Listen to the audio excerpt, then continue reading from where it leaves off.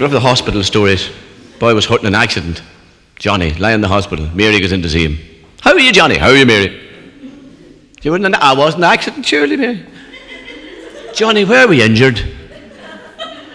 Well, he says, Mary, I'll put it like this. Uh, if you'd have been injured in the same place I was injured, you wouldn't have been injured at all.